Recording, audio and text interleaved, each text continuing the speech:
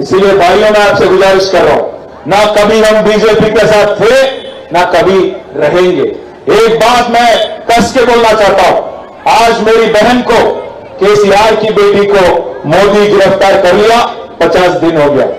हम डरेंगे नहीं, उनकी दबाव से, उनकी धमकाने से, उनके डराने से नहीं डरेंगे। मोदी क्या उसके बाप से भी नहीं डरेंगे, वादा है आपसे। उखाड़ना है जो उखाड़ना है, उखाड़ लो, कोई फ़र्क नहीं पड़ता। एक बात ज़रूर कहेंगे सेक्युलर हम थे, आगे भी रहेंगे।